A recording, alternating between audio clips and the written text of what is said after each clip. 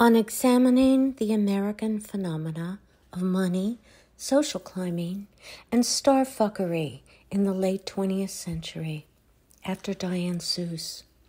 I was married to a McDonald's millionaire in the 80s.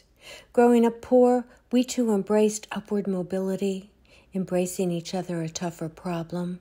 But why not climb? The nation all, it's morning in America, greed is good, trickled down the decade's improbable pretense.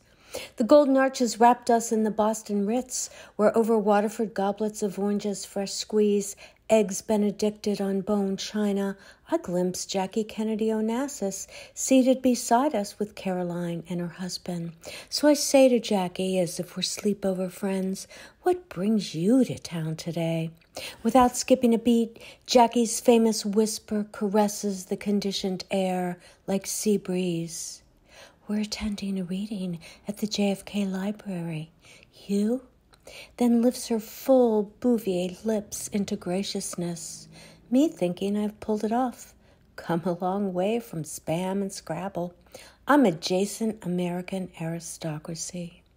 By the prosperous 90s, I've earned a PhD in a divorce, still surprised and at home with dinner next to Dolly Parton tiny as a toy, the only voice from the hollers in that Broadway trattoria. Later, sharing a Lincoln Center elevator on my birthday with Wynton Marsalis, craving a kiss from American jazz royalty, brushing his trumpeted mouth with mine.